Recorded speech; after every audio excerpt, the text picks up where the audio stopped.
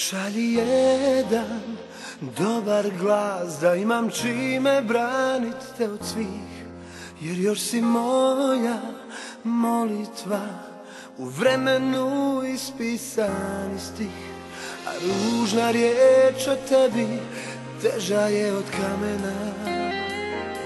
Mm, Lako se pamti Teško zaboravlja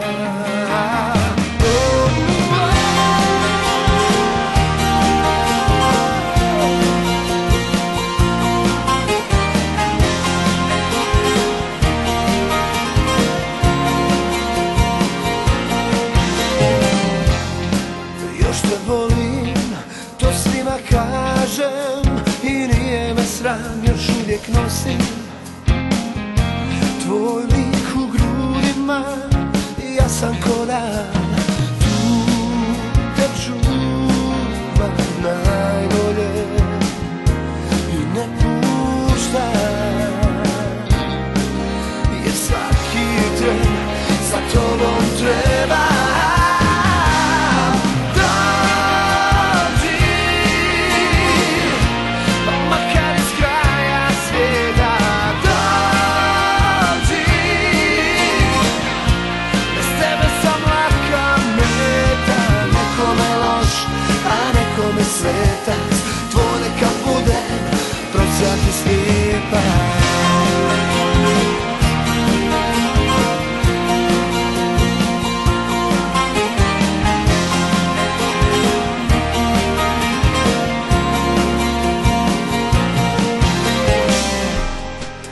te volim, to svima kažem Ni nije me sram, još te nosim Tvoj lik u grudima, ja sam koran Jer tu te čuvam najbolje I ne puštam.